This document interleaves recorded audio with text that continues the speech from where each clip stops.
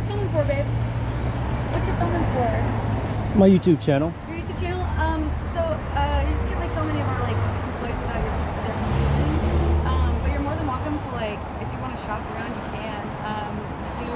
Is there anything in particular? Or also, please don't my image, obviously. But but um, is there anything like you needed shot wise?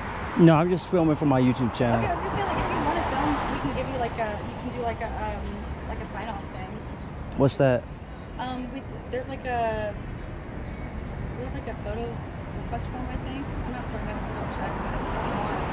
But um, yeah. I'm good. I don't think I need one. Okay, yeah. Just uh, just use them for my employees or for me, like without their consent. Okay.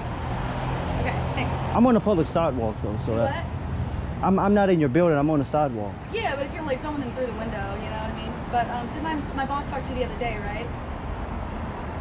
Talk to a lot of people, Okay, cool. Um, but I'm gonna keep filming though. okay, as long as you're not filming my girl, my girls, it's fine. I'm gonna film whenever I want.